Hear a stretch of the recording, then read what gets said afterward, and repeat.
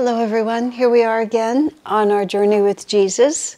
Today is a very special day because Jesus is going to be born before the end of this class session. So let us start with a prayer. Heavenly Father, Divine Mother, Friend, Beloved God, Jesus Christ, Babaji Krishna, Lahiri Mahashaya, Swami Sri Yukteswar, Beloved Master Paramhansa Yogananda, Saints of all religions, humbly we bow to you all. Dearest Swamiji, thank you for the blessing of your constant presence in our lives.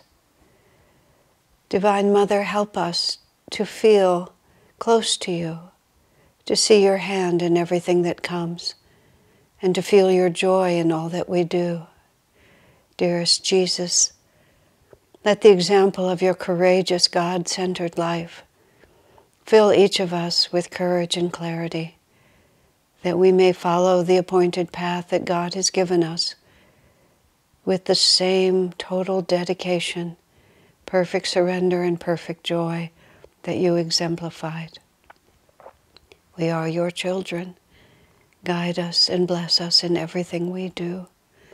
Om. Peace. Amen. So, my friends, let's start with the song. The first song we're going to have tonight is the whole story of the birth of Jesus. Because, as I said, tonight we're going to go through the actual birth time of Christ. So, we're going to have Swami's beautiful Christmas song, Christmas Mystery. And as we listen to that, we'll hear the whole saga of the coming of Christ. Long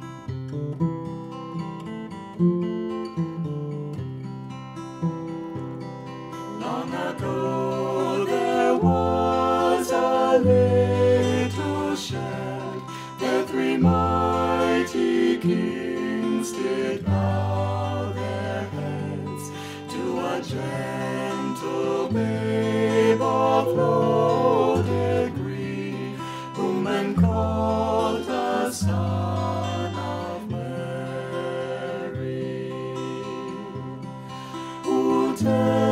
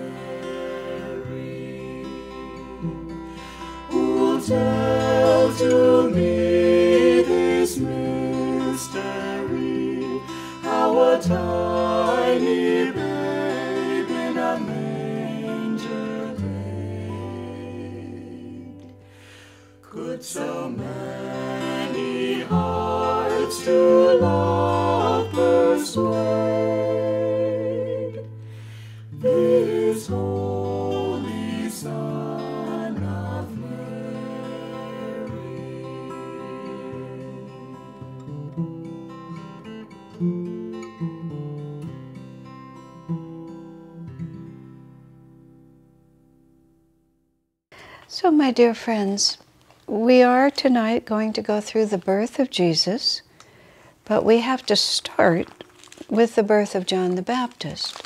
You remember when, of course, just a week ago, when we were talking about how Zechariah was also visited by an angel and told that his wife Elizabeth would give birth to a child, and that child would come, the Bible calls it in the spirit of Elijah.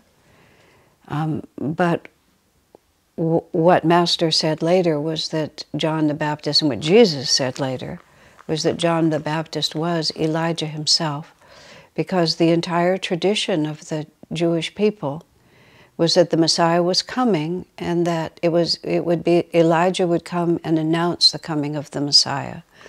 So Elizabeth conceived her child um, a three about three months before uh, Mary did. And then they came together, and as you remember the beautiful story of when Mary arrives, Elizabeth feels the baby in her womb leaps for joy because the baby in her womb recognizes the Messiah coming. And these two great souls were Elijah and Elisha, two great um, avatars really described in the Old Testament. And we, we saw the place where Mary and Elizabeth met was the home of Elizabeth in Ein Karem. And then we go now to that, we'll go back to that same city where John was born. And here's the passages from the Bible about his, his birth. And I think I've mentioned to you that the, the gospel that I read of is a combination of all four. So everything that's written about Jesus in the New, about John the Baptist in the New Testament is included in what I'm reading now. When it was time for Elizabeth to have her baby, she gave birth to a son. Her neighbors and relatives heard that the Lord had shown her great mercy, and they shared her joy. That phrase, great mercy, because Elizabeth was barren, which was a, a great shame in the culture there. And so, not only did she have a child at this late stage of her life, but the child being a son is considered a special, especially auspicious because of the society they lived in. Although among the Essenes, men and women were equal. And Elizabeth was an Essene, but nonetheless, this is how the New Testament writes it. And on the eighth day, they came to circumcise the child, and they were going to name him after his father, Zechariah. But his mother spoke up and said, No, he is to be called John. Now, you may remember that when, when the angel appeared to Zechariah when he was inside the Holy of the Holies in the temple, um, he, he was afraid and he wasn't sure. And because of that, he was struck dumb. and he wasn't going to be allowed to speak until after John was born. So Zechariah still hasn't spoken, even up to this eighth day, apparently. So she said, but and then they said to Elizabeth, But there is no one among your relatives who has that name.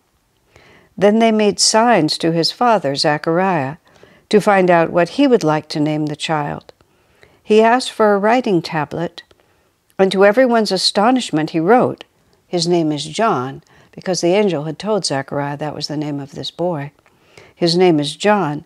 Immediately, his mouth was opened and his tongue set free, and he began to speak, praising God. All the neighbors were filled with awe, and throughout the hill country of Judea, people were talking about all these things. Everyone who heard this wondered about it, asking, What then is this child going to be? For the Lord's hand was with him. Now, now, of course, throughout this whole culture of the Jewish people, they're all they all know that God is going to send the Messiah. And within the subculture of the Essene communities, which would have been the group that Elizabeth especially was was tied to, um, here's this miraculous angelic birth happening, and they're all waiting for Elijah to come so that the Messiah will come. So the natural question is, where does this fit? Who is this person?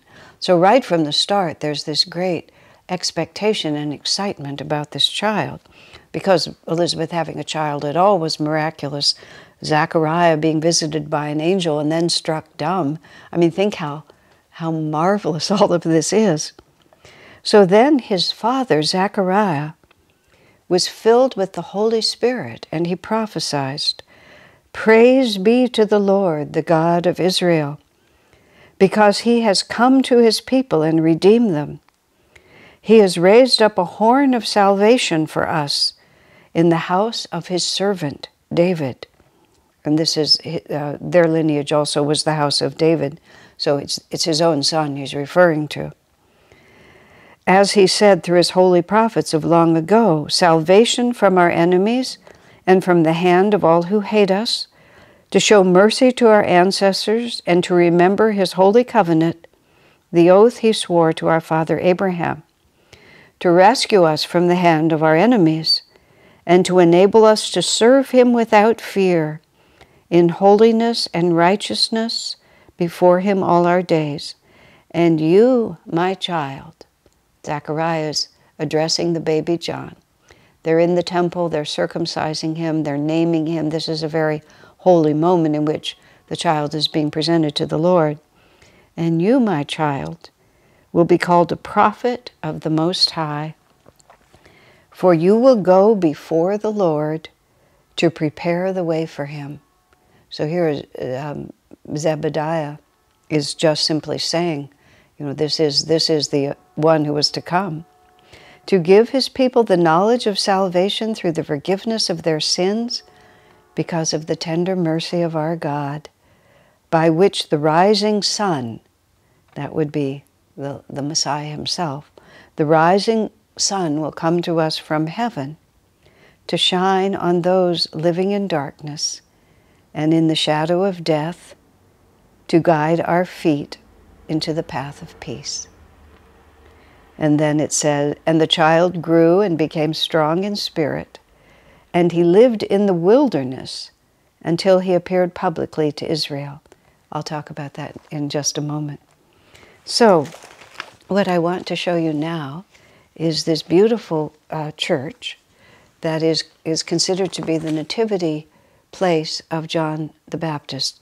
Elizabeth and Zachariah, they had apparently, this is how the tradition goes, they had two homes in this area. One was up in the hill, which was the Church of the Visitation that we what we visited where Mary and Elizabeth met, and the other was down on the on the flat area in town. And in the flat area, this church has been built, and there is in all these places there's some kind of a grotto or a cave, which is said to be the birthplace of where where John the Baptist was actually born, and it's supposed to be the site where his home was.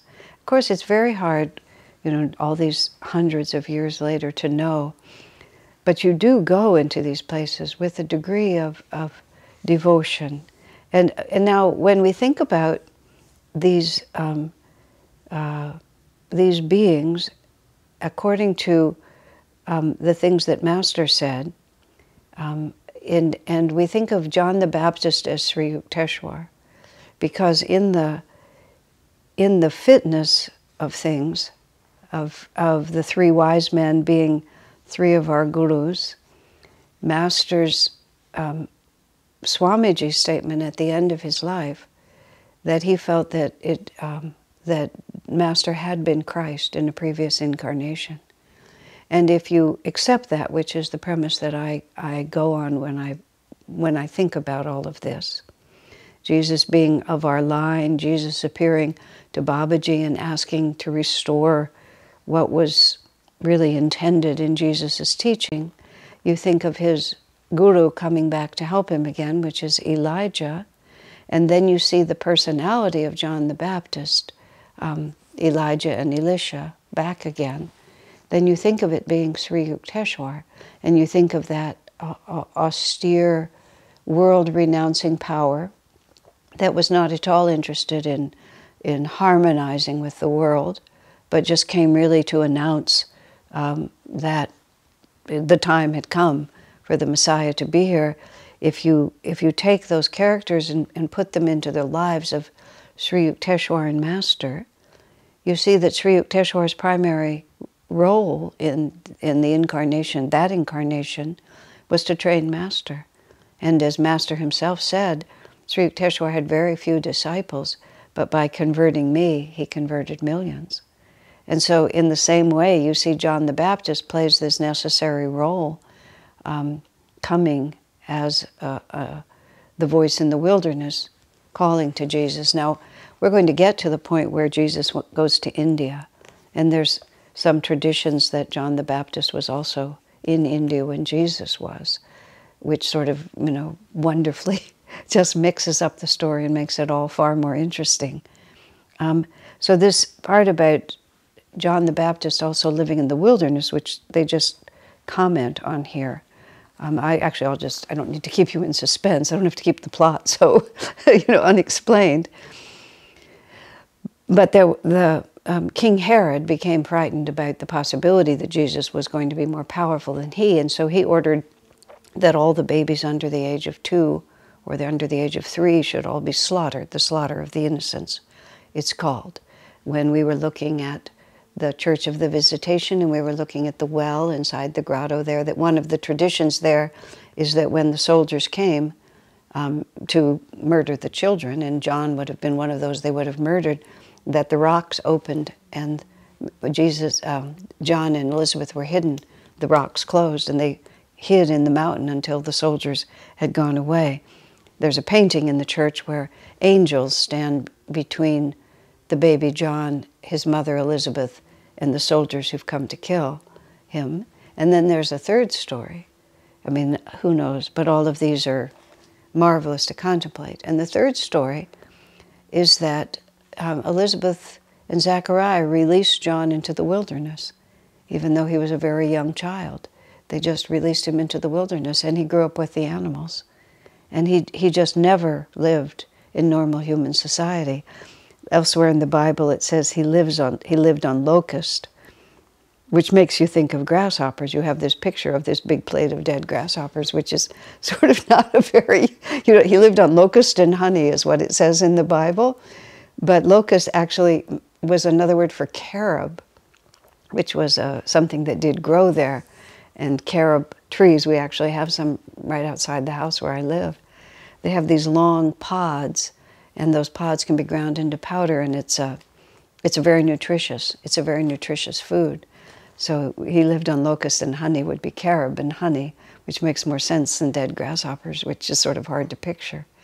But that tradition, which uh, comes out of uh, a little bit out of Edgar Cayce and Anne Catherine Emmerich and who knows where else, but it's just a piece of one of those traditions, is that the, that John, uh, Zachariah, and Elizabeth having given birth to this child, really had just gave him to God.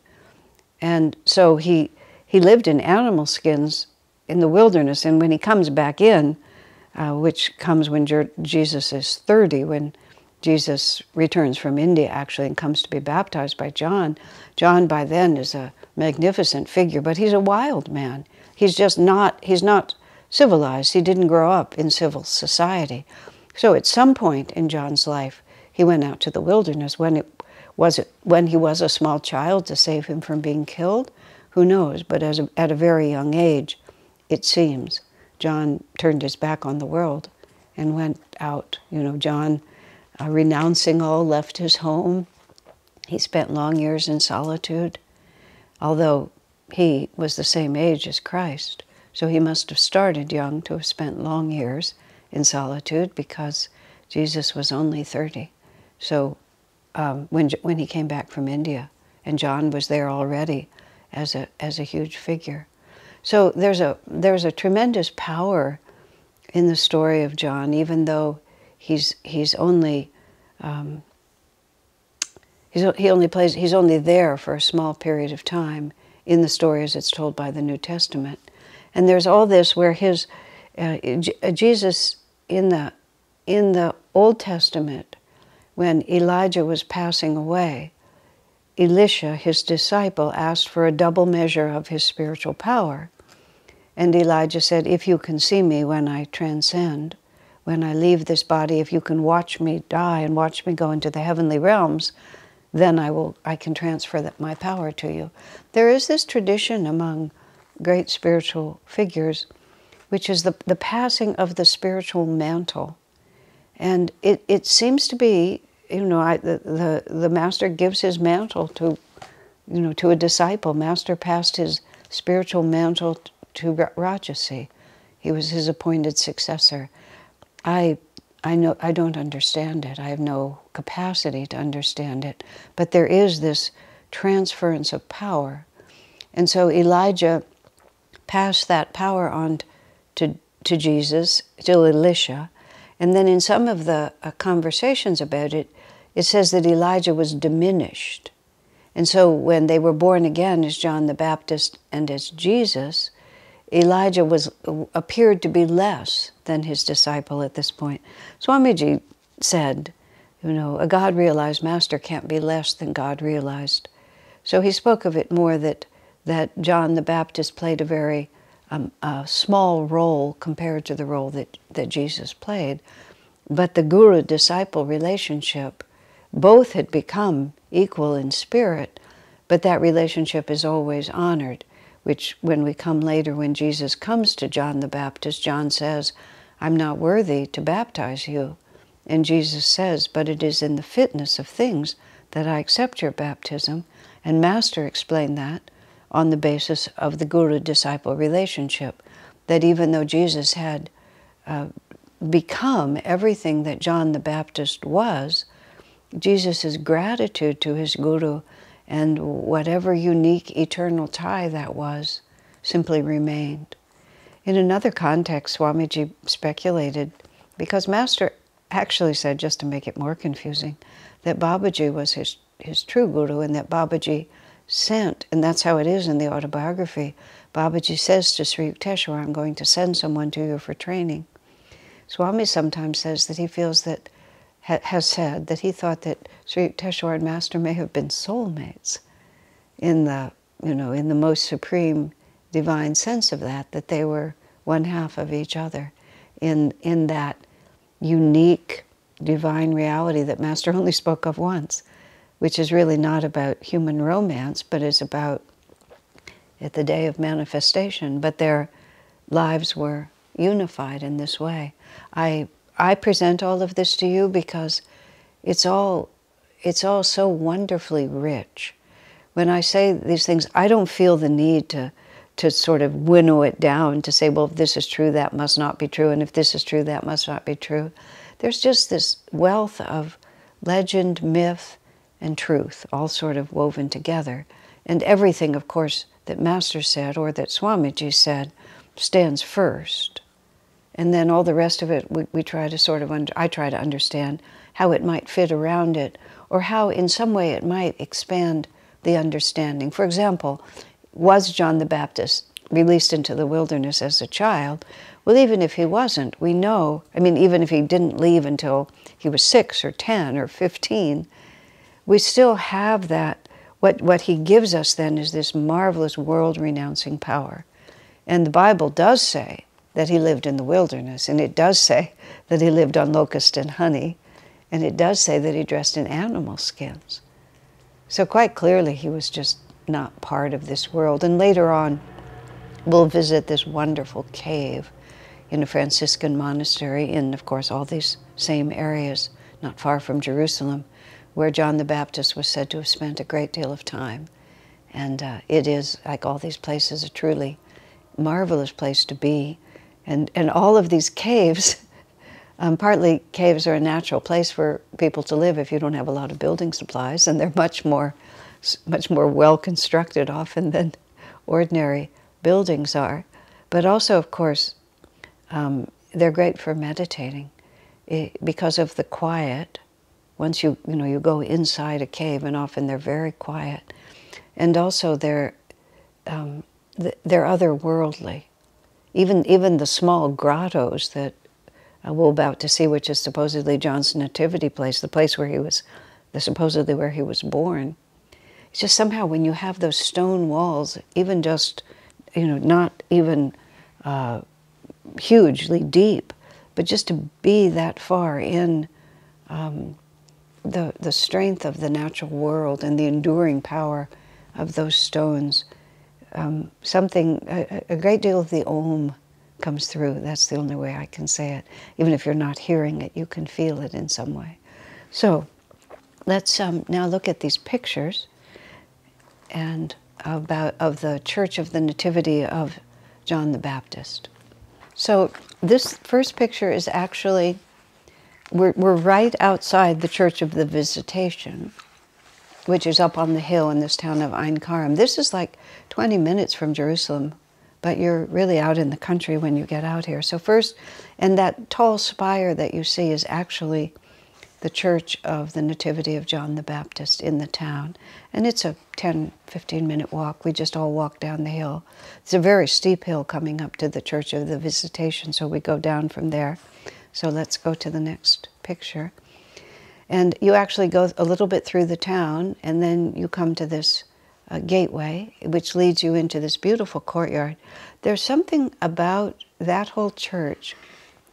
It feels very, very friendly it sort of feels like it's, it doesn't feel like a, a place that's set up for tourists. It feels like a place more where, uh, where, where life really happens, where real worship happens. It's beautiful in there. So let's take another step inside and we'll get into the, this is the exterior of the church. These are these churches, uh, the one we're looking at here, but they're just very plain, stone on the outside. There's others that are more beautiful, but these are very sweet this way. Then we go into the interior of it which is, I've never, I mean, I'm just showing it to you because there it is. But where we actually go is a little to the left of that altar. You go down these stairs, and now we're getting down into the grotto. And the church was built on this spot because the grotto is there, which was said to be the home of Elizabeth and Zechariah and the place where John the Baptist were, was born. Let's take another step into it. And so this is this beautiful altar that is inside. You can see it's a cave above it. And you could sit and and you'll see this again when we get to the Nativity Church in Bethlehem, which is, I believe, where we're going next. They have an altar like this so that priests can do mass, and then under it they have a this plate, this uh, star-like shape with a, a circle in the center. You see them in many places throughout Israel, and they, they're always marking some really important spot like that. All of this is very accessible. You can, you know, put your head on the, on the, the stone there and really just feel the power of this. So while we're looking at this picture and feeling the power of John the Baptist coming through, the song I want us to listen to is Children of God, which those of you who know the oratorio, it's this very stirring announcement that God is coming. And I never had thought before who was making that announcement. But when I thought of, of Elijah and John the Baptist is the voice crying in the wilderness, saying, Make way for the Lord, I realized that children of God would be, uh, and maybe that's how Swami intended. I can't ask him now. But, but it, this is John the Baptist the, announcing the coming of the Messiah. Now imagine also that we're Essenes, which we were, I believe, that we were Essenes. We've been waiting for the Messiah to come. We know that Elijah is going to come first. And here's the very real possibility that Elijah is with us and he's announcing the coming of the Lord. Imagining, imagine how thrilled we'd be you know, to hear that clarion call coming from the divine source telling us that our days of waiting are done. The Messiah will soon be with us. So, in that spirit, let's in, listen to this song.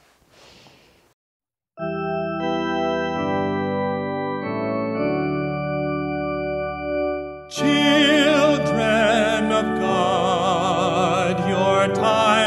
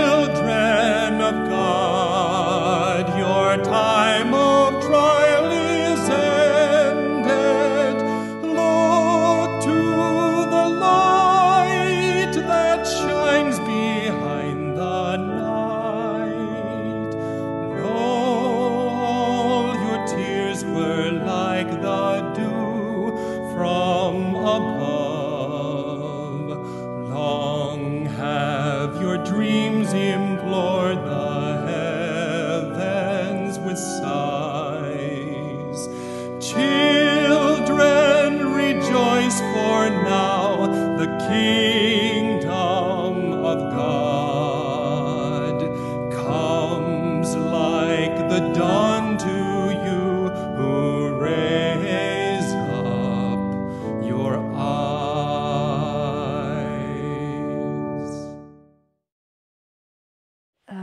those of you who know the esoteric of it know that at the end of his life, Swamiji rewrote that song, and so the verses are slightly different, but that was the original version, and the melody, of course, is the same, and the message is the same, so we can stay with it.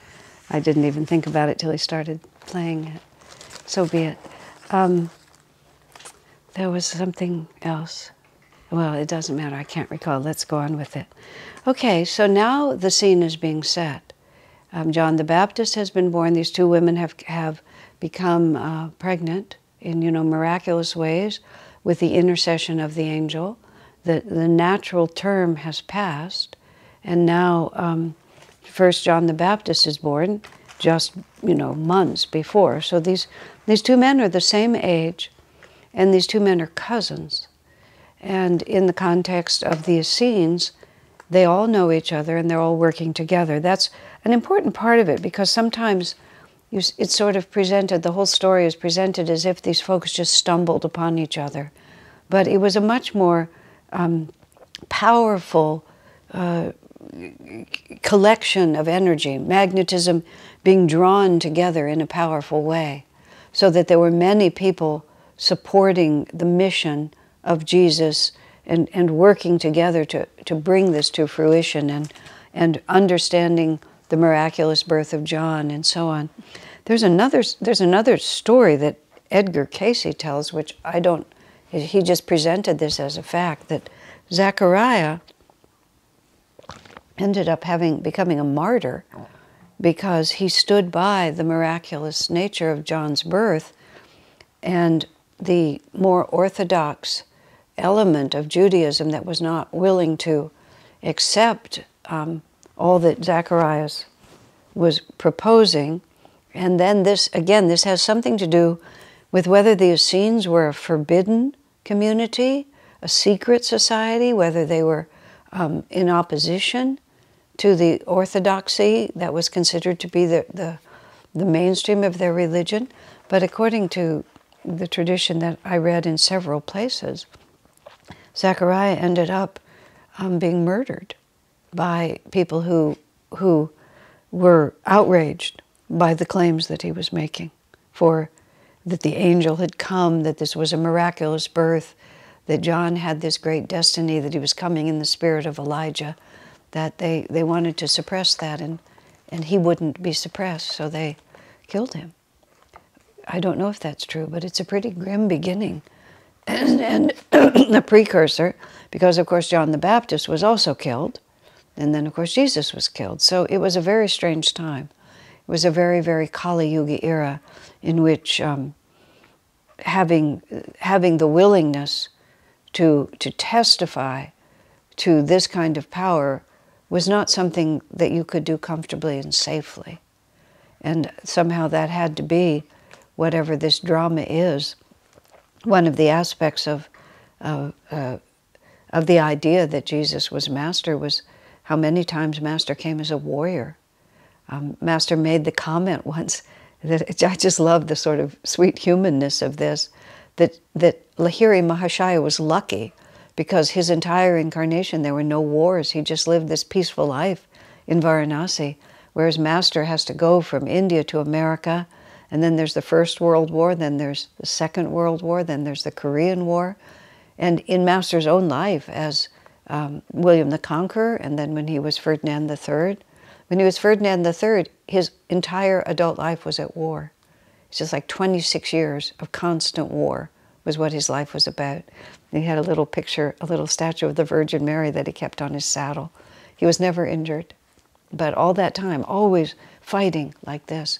So in, in uh, the incarnation of Jesus, um, and when, when, uh, when John was Elijah, as you remember telling the stories, he was fighting against the king and he was fighting against the queen Jezebel and he was fighting against the, the priests of Baal. And in that story, he murdered 450 of them, slaughtered the priests. It just is very tempestuous. But that was the personality that Master had. He had the personality of a warrior at all times who, who put his own life on the line to stand up for truth. So if, if the story about um, Zachariah is also true, then it, it began right, you know, right there from the very beginning. And, and part of the drama of the life of Christ that, that plays itself out when he's an adult is that, there, that it is that kind of time.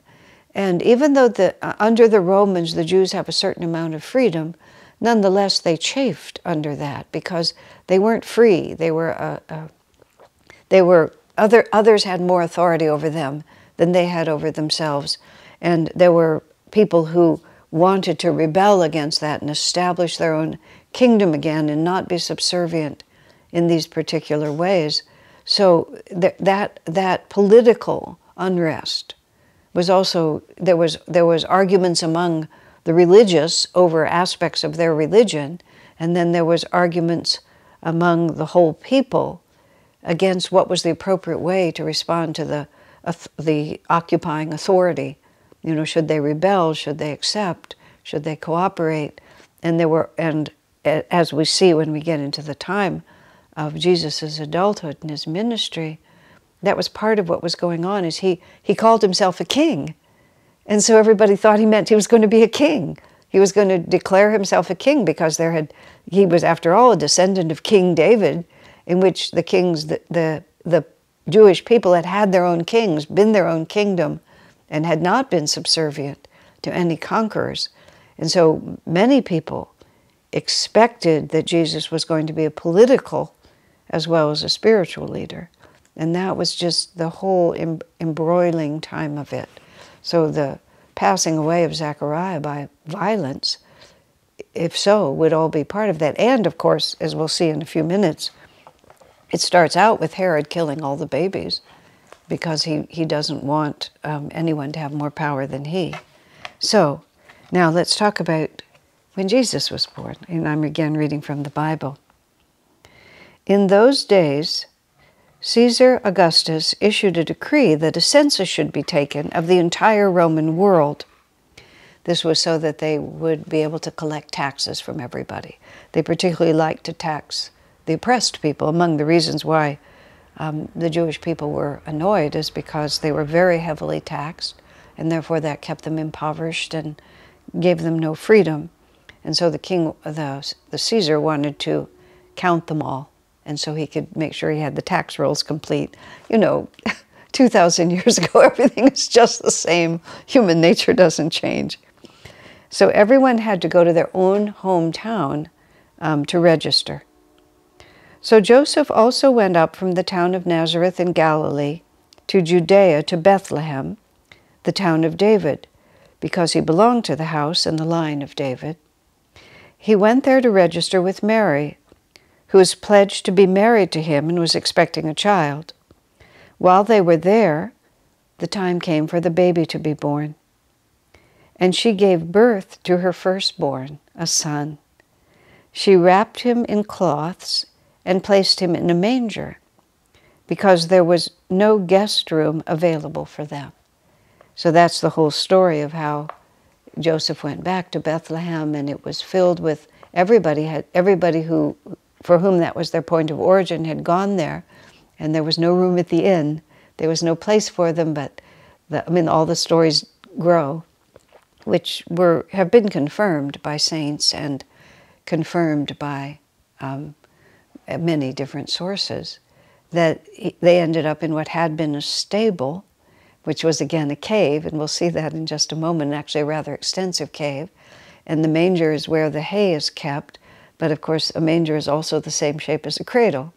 So when the baby was born, other, other parts of this story are told where, where Anna, um, Mary's mother, and you remember we started at St. Anne's Church back at the beginning, and um, Anna knew um, that, I mean, she'd given birth to Mary, and then Mary had been visited by the angel, and Anna was also Anna and her father, her husband, were all these were all Essenes, and and they were all um, part of this uh, movement.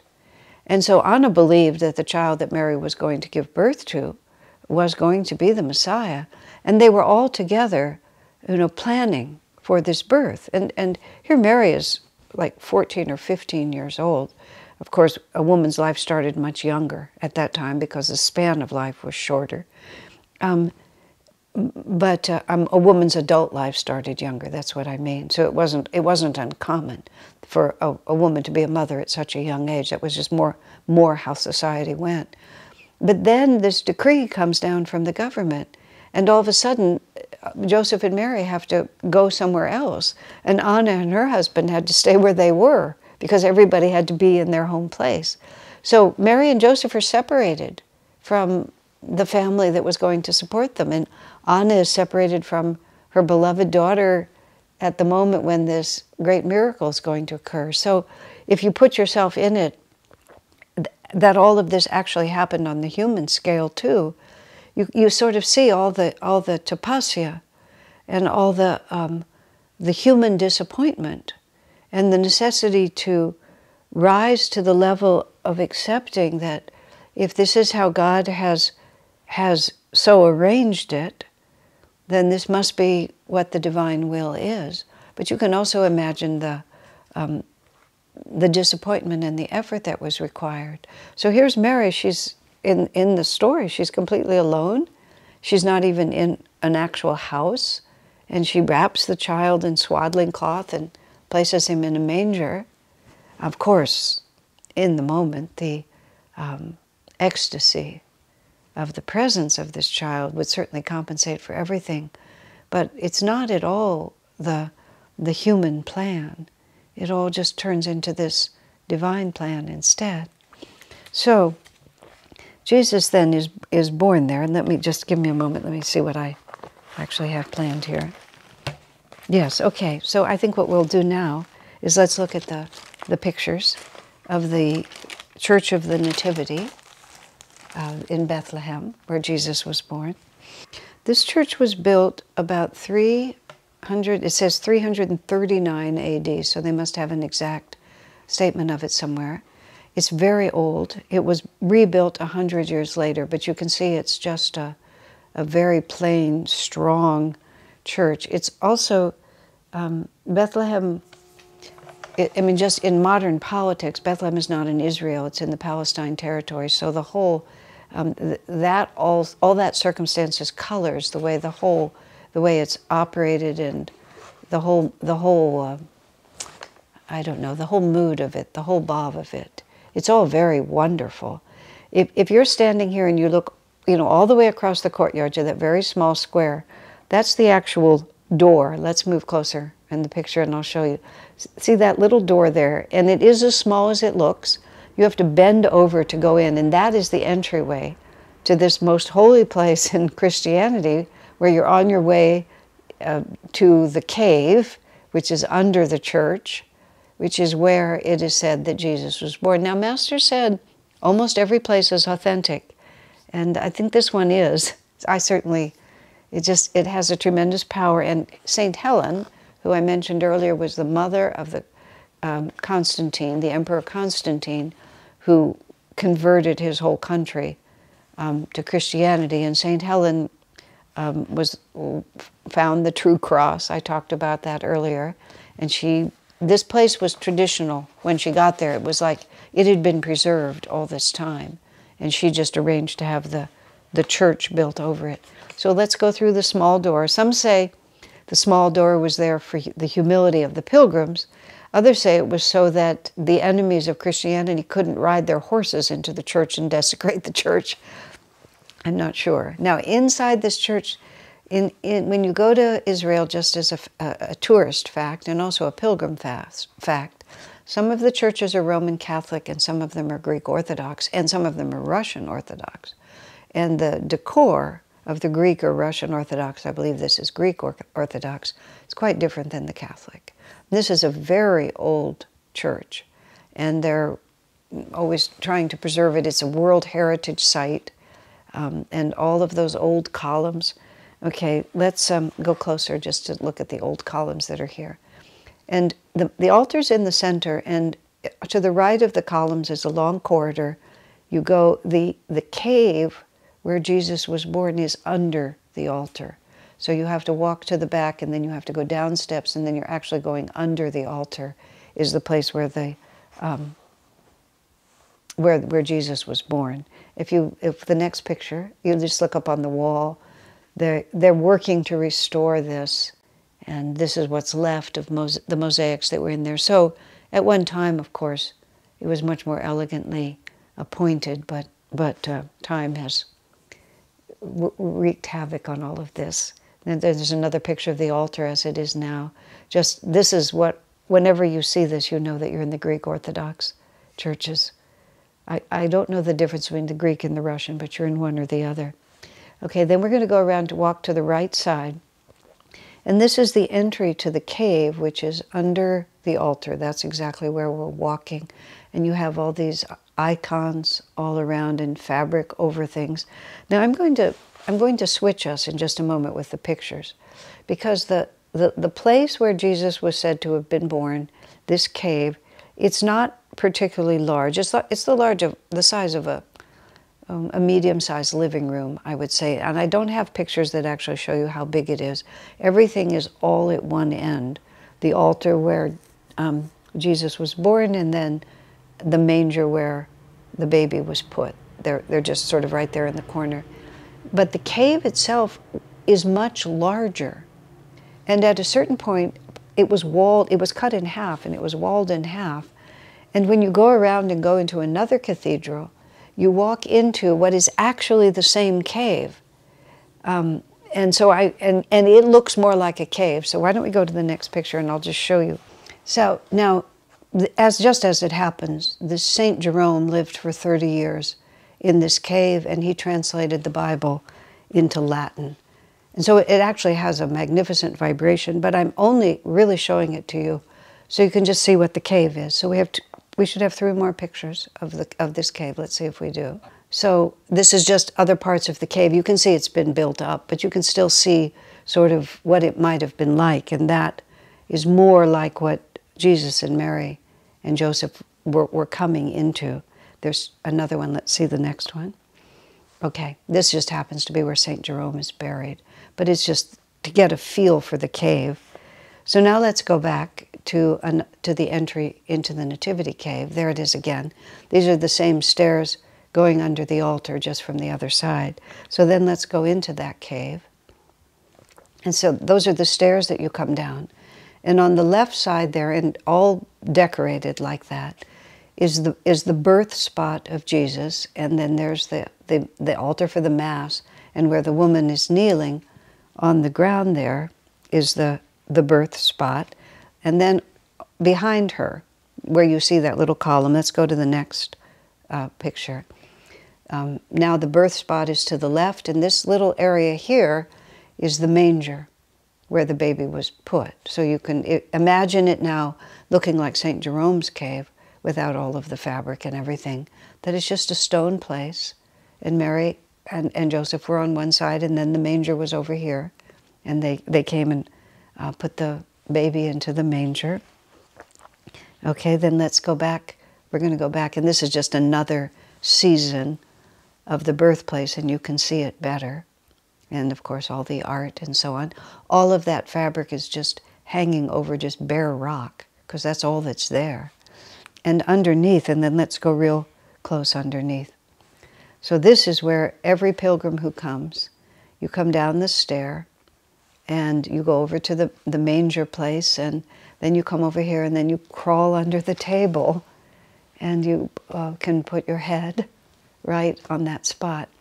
It's a 14 point star.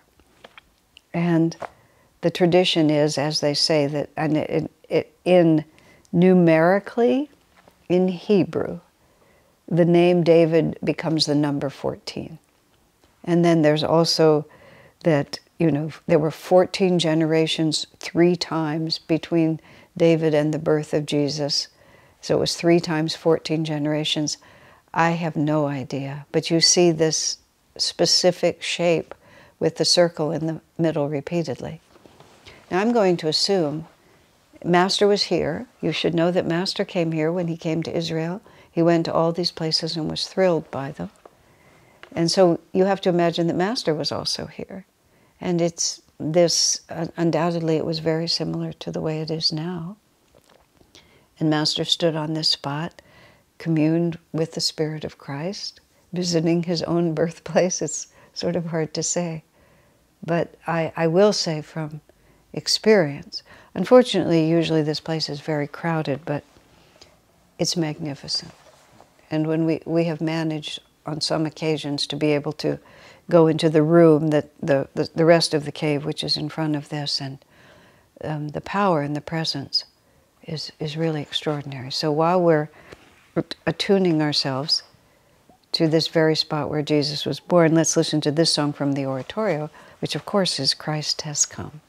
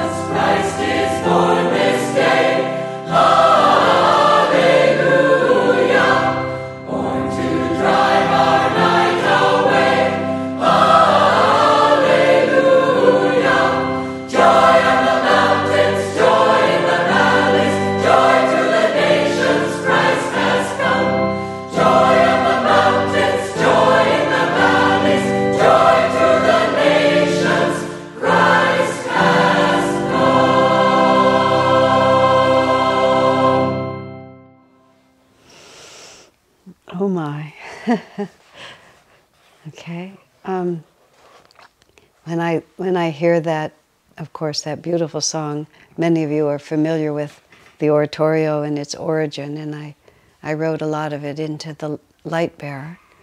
Um, when Swamiji went to Israel with Rosanna, I, I was just trying to look it up. It's 1983 or 84. I'm not certain. I can't remember right at the moment. And uh, when he was back in Italy after that trip, and then the melodies began to come to him. Just he woke up. He woke up one morning with melodies related to the places he'd visited on pilgrimage, and then he thought what would happen if he deliberately tuned in and tried to receive melodies, because the first ones came unbidden. And uh, he said before he got out of bed, he'd had 21 melodies had come to him, and, which became the oratorio. So he was very uh, elated about the, the possibility of being able to translate the experience of being in the Holy Land into music. Um, Swami said many things about it in, time, but he said when he wrote the oratorio, it was the first time he wrote music primarily to convey a specific vibration, was the way he put it. And it was a, a changing in his, apparently in his writing of music. And he was so thrilled by this, and he started working on the oratorio, and he worked continuously for the next four months to finish it. But I so I, I remember vividly he we we had the we still had the house in San Francisco. Ananda had a, an ashram house in San Francisco at that time, the big house on Broadway that uh, Jyotish Devi established for Ananda in 1979. And uh, Swami came back from the trip, and we a group of us went to meet him at the airport. And then we came back to the house, and we went up to his. He had this very large room, and there was a group of a dozen or so of, of us sitting there with Swamiji, and he was he was so thrilled to share with us this oratorio because he knew it was going to be magnificent and it was going to communicate uh, our, our, uh, the master's the, the the spirit of what master wanted to express in the teachings of Christ. It was going to come across in this music, and Swami at that time was engaged with the Rosanna's uh, Peki group, and he saw them as a, a way because they were charismatic Catholics. He thought he saw that as a way to bring Master's teachings into the churches. So we were all sitting in this circle, and Swami gets out this little keyboard. It was a very small one that he used for travel. It was, I mean, maybe you know one or two octaves at the most, just a very small thing. And he sat there, and he played for us all the melodies. And the melodies were all a single note played on this exceedingly dinky little thing so that the sound quality was not great. The tone was true, but it was not great. And he would play the basic melody line or a little bit of the song. And uh, I'm not the most gifted musician, so it, I might not have been the, the best person, but it was not as impressive as Swami's enthusiasm. Swami's enthusiasm was magnificent and the impression that his little plink, plink, plink, plink, plink made on us, it, a lot of the power was in, lost in the translation. But we all knew well enough that we needed to be totally enthusiastic because that was not the moment. We'd all learned from bitter experience. That was not the moment in Swami's creative process to bring in any note of questioning. It was just the time to say, wow, wow, Swami, amazing. And it was funny because later when he actually had the whole oratorio together, and it was safe then to say it. We, we told him just how, how um, little of what the oratorio became was communicated to most of the people in the room. And then Swami laughed too because he said, you know, he would hit those single notes and he heard the whole thing. He heard the harmonies, he heard the orchestration, he, and he felt the power of it. And so we did feel that with him. We did feel tremendously uplifted, just not necessarily because of the notes he was hitting. But it was also a, a, just a wonderful story of Swami's creative flow. For him, it was already there. And for him, it was already there, even in what he was sharing with us. And it was just because his enthusiasm spills over that he, he had to offer all that to us. And so it, it became it became that wonderful piece of music among many, many others because he, he had that in him. Swami actually, just to speak of it, he said, uh, The inspiration I received from these pilgrimage sites, he said, was complete in itself. He said, it, it, I, I, it, it didn't become larger for my expressing it, his own inspiration. It was just interesting. In other words, he didn't express it for his own sake. It was already there. But he expressed it for the, for the opportunity he saw to really be able to serve the world, which, of course, he has beautifully with this.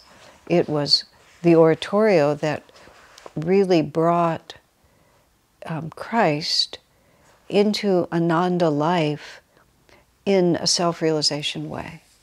We, even before then, we were always celebrating Christmas and Easter in the way that Master had done with great um, devotion. But when Swami put that inspiration into music and then we could absorb it through the music, it was like we were able to come back to the experience of Christ uh, with our own vibration and not just be sort of caught up in what the churches had done. So it was a very important part of Ananda's um, spiritual development, the, the creation of that. And of course, going through Israel with Swamiji's music um, really attuned us to it in exactly the right way. So now, as we all know, because we all know this story, after Christ was born, um, the angels were there. Um, but the angels then went to tell the shepherds, you know, that this really glorious thing had happened. So we read in the New Testament, it says, And there were shepherds living out in the fields nearby, keeping watch over their flocks at night. An angel of the Lord appeared to them, and the glory of the Lord shone around them, and they were terrified. But the angel said to them, Do not be afraid. I bring you good news that will cause great joy for all people. Today, in the town of David, a Savior has been born to you. He is the Messiah, the Lord. This will be a sign to you. You will find a baby wrapped in cloths and lying in a manger.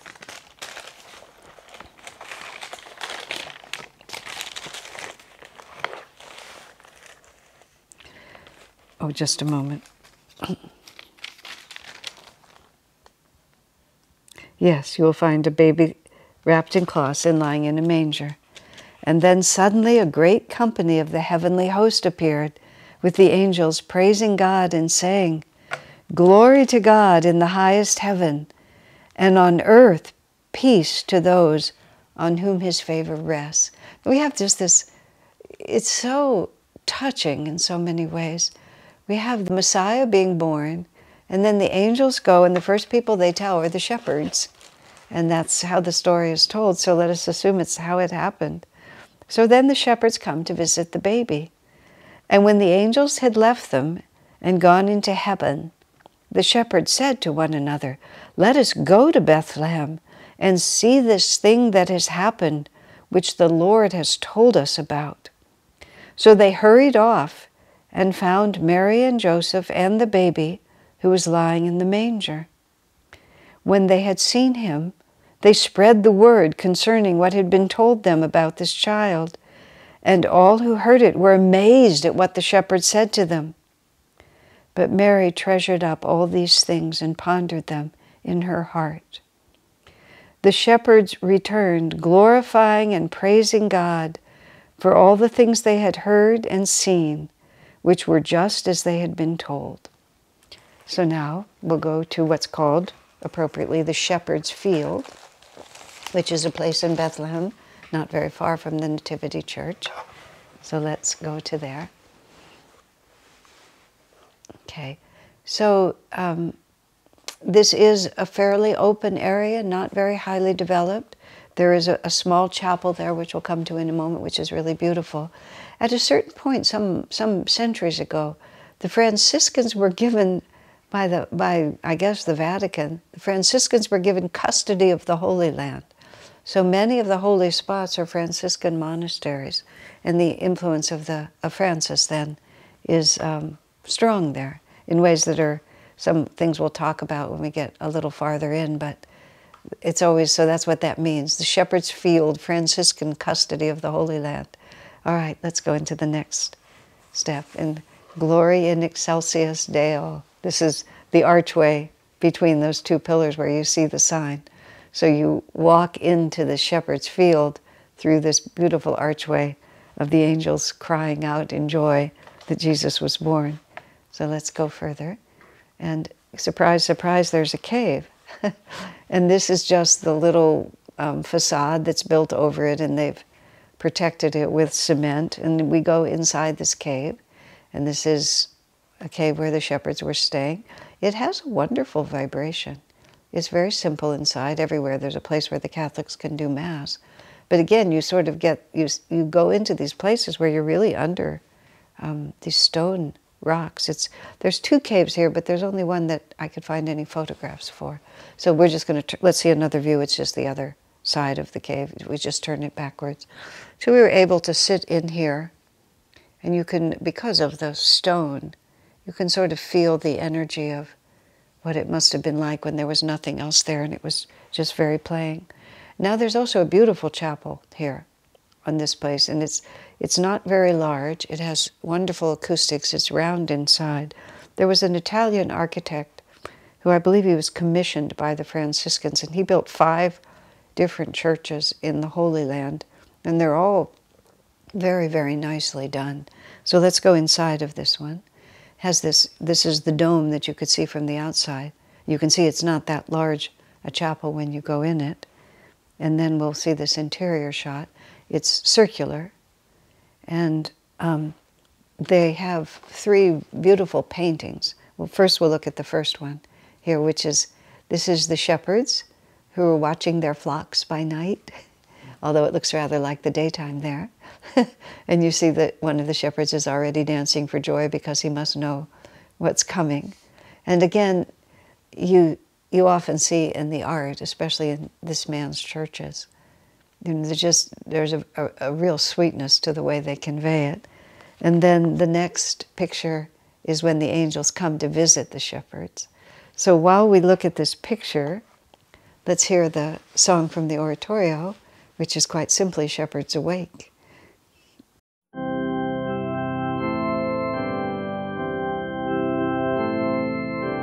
When in Bethlehem Jesus was born, the angels did herald the news to shepherds who slept They sang, Awake in the Lord.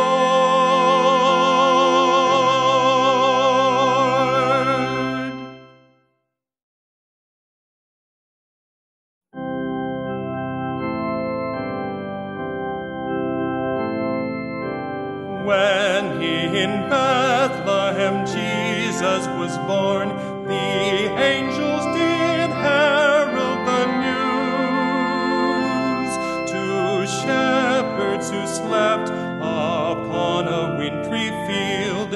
sang, Awake in the Lord.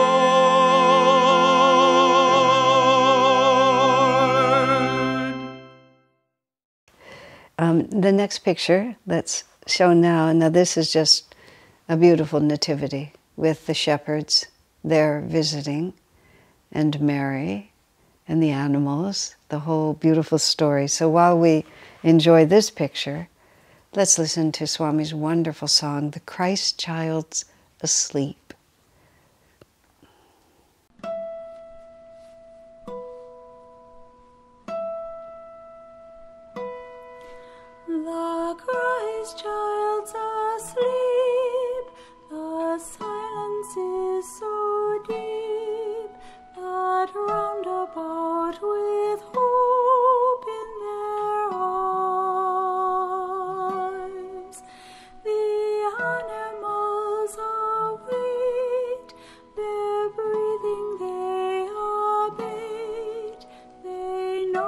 time has come to arise. For Jesus came.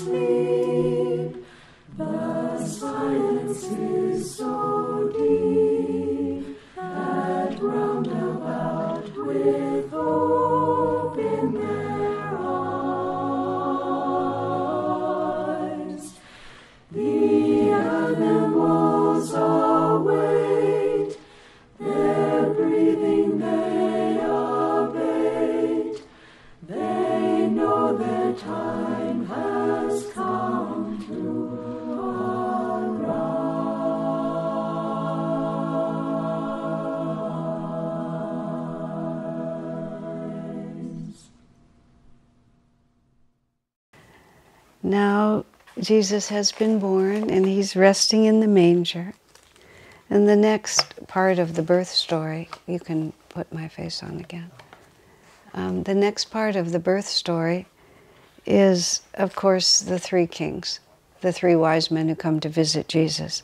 Now, it's traditional now that we just sort of fold the three wise men into the, into the nativity scene. But in, in various ways, it's more likely that they actually came later, even a couple of years later. It's not known. Um, Master said that the three wise men were, were Lahiri Mahashaya, Babaji, and Sri Yukteswar. And that when Jesus came of age at the age of 14 and left Israel and went to India, he, was, he went back to see his own masters in the land of their birth. There's also a lot of traditions from Cayce and others that the Essenes actually had strong connections with India, that it was not at all that these, the worlds were separated, that the Essenes were a remnant of a, of a, um, an ancient brotherhood of wise. Uh, for out of you will come a ruler who will shepherd my people Israel. Then Herod called the Magi secretly and found out from them the exact time the star had appeared. He sent them to Bethlehem and said, Go and watch carefully for the child. As soon as you find him, report to me, so that I too may go and worship him. After they had heard the king, the wise men went on their way, and the star they had seen when it rose went ahead of them, and it stopped over the place where the child was. When they saw the star, they were overjoyed. On coming to the house, they saw the child with his mother Mary, and they bowed down and worshipped him. Then they opened their treasures and presented him with gifts of gold, frankincense, and myrrh. But then, having been warned in a dream not to go back to Herod, they returned to their country by another route. They intuitively know that Herod did not want to come and worship the child, but he wanted to come and eliminate him for the threat he might represent. So, what we're going to share now, because there's no real location for the wise men except the uh, beautiful nativity scene we've already seen, but the wise men have naturally been the subject of an enormous amount of art. So I've collected more than a dozen or so pictures uh, different paintings of, of the kings bowing to the child. They'll go by um, somewhat quickly, but for those of you, you can go back and look at the recording because I, I really recommend it. There's some just beautiful detail in these pictures of these great kings bending over, you know, to the little baby and humbling themselves in front of the child and touching his feet and having the, the, the child reach out and touch the head of the kings. And the spirit of it is, uh, well, it, it's all about us. You know, it's not really about them and it's not really about the past. It's really about the, the descent of spirit into this world. It's about the, the never ending love of God that is always listening to our prayers and is always ready to respond to whatever it is that we need um, just a moment of all things, um, is always ready to respond to our need. And even um, the most grand among us, you know, becomes humble in the face of the, the presence and the power of God. So, of course, Swamiji has written this beautiful song called The Three Wise Men, and we'll um, watch through the beautiful paintings, and then toward the end, we'll get to see the three wise men as Master presented them to us. Then three wise men came from afar, guided by the heavenly star. Christ, the light of God, had descended, that receiving him all might be saved. Thus the promise of God was maintained. The all true souls were called to the light, that their darkness be lifted, that their hearts be made whole. When Mary's babe smiled, he conveyed truth and grace.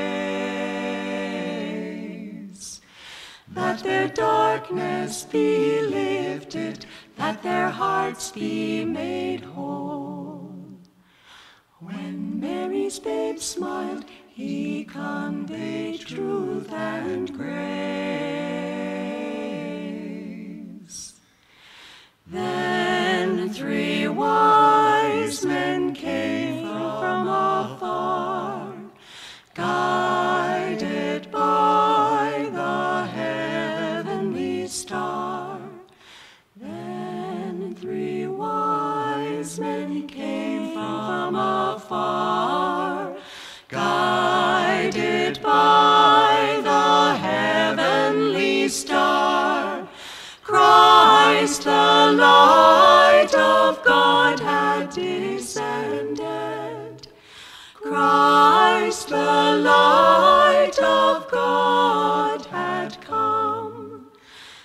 Receiving him, that receiving